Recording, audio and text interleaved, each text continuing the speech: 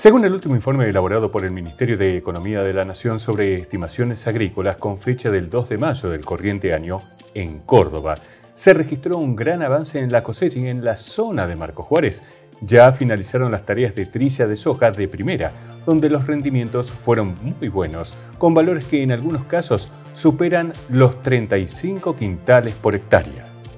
Y en relación a la soja de segunda, la cosecha alcanza el 75% del área implantada y los rindes oscilan entre los 28 y 30 quintales. Por ello es importante conocer el estado de los cultivos en relación a las enfermedades que puedan afectar a la oleaginosa. El tema de hoy, con los profesionales del agro.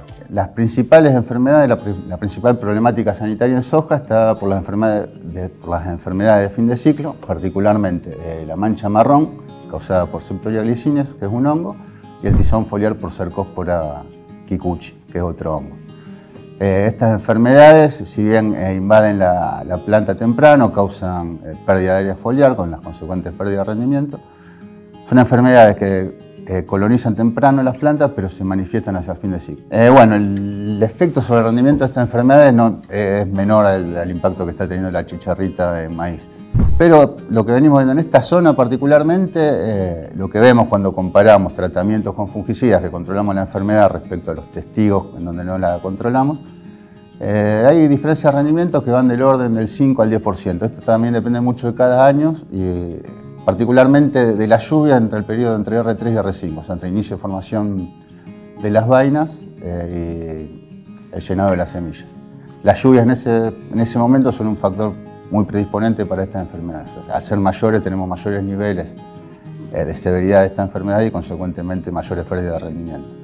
En el caso de mancha marrón, lo que vemos, por un lado, los productos que venimos probando son principalmente los más usados, son mezclas de triazoles y estrovirulinas. Eh, tienen una menor eficacia que lo que son las mezclas que incorporan carboxamidas o algunos triazoles de desarrollo nuevo. Esto no implica que sea resistencia, sino una mayor eficacia de los productos nuevos y año a año particularmente evaluamos esto para, para ver cómo evoluciona o cómo, si se mantiene o no la eficacia de los distintos productos. No hay indicios, por ejemplo, mancha marrón de resistencia, sí en el caso de Cercospora kikuchi hay estudios de la Universidad de Buenos Aires donde han detectado ya eh, resistencia a muchas estrovirulinas, o sea que las estrovirulinas no, estarían controlando algunas cepas de Cercospora kikuchi, los triazoles todavía controlan y las carboxamidas no la controlan eh, para nada. En este caso postulan que no es una resistencia, sino que es una inmunidad de la, de la cepa.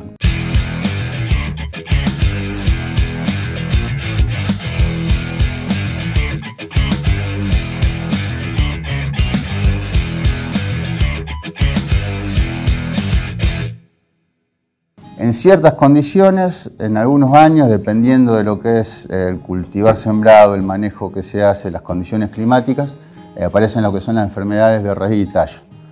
Eh, muerte súbita es una enfermedad que tiene una alta prevalencia, o sea, está en, muchos eh, lotes, generalmente con bajas incisidades.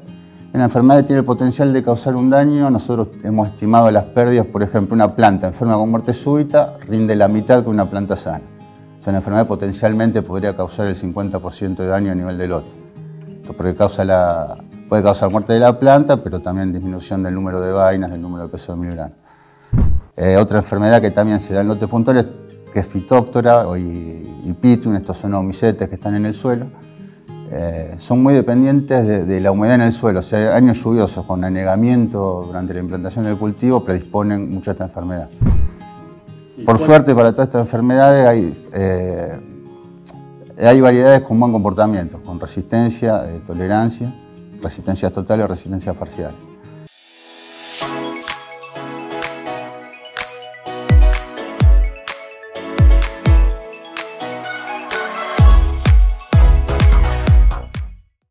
Ingersol Argentina fabrica, desarrolla y comercializa partes para máquinas agrícolas Ingersol Argentina. Productos de clase mundial. Y para evitar o realizar un tratamiento adecuado en las enfermedades de la oleaginosa es necesario un diagnóstico certero y aquí el papel de los profesionales del agro es fundamental. En primer lugar, lo que hay que tener preciso es el diagnóstico de qué enfermedad estamos viendo. Por ejemplo, de nuevo, muerte súbita es una enfermedad, un hongo que coloniza únicamente la raíz de la planta, pero genera toxinas que nos van a dar un síntoma foliar que lo estamos viendo en los estadios reproductivos. Ese síntoma foliar, sin embargo, es causado por una toxina del hongo que está en la raíz. O sea, en ese caso, si a la aplicación de un fungicida foliar no vamos a lograr nada, porque el hongo está en la raíz. Estamos atacando un síntoma que no, no atacamos el patógeno que lo causa.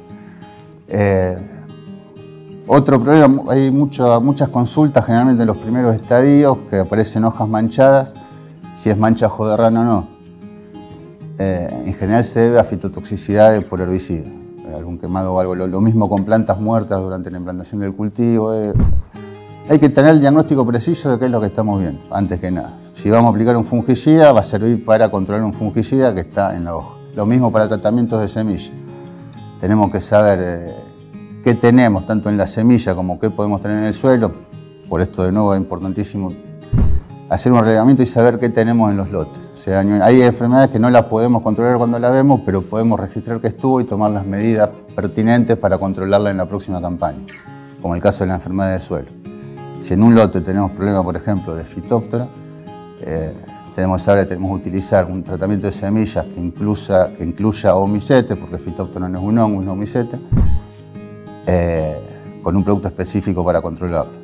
A su vez sabemos que este producto no nos va a controlar otras enfermedades que pueden estar en semilla como fusarium, fomopsis en el suelo, como rhizoctonia, fusarium. Eh, y sabiendo qué tenemos, de nuevo, tanto en la semilla como en el lote nuestro, eh, elegir qué productos utilizar para el tratamiento de la semilla. Y en el próximo capítulo conoceremos la importancia de seguir pautas correctas para un eficiente manejo de los efluentes ganaderos. Conoceremos su impacto económico y también su impacto agronómico y sus limitantes. Hasta entonces, y gracias por la compañía.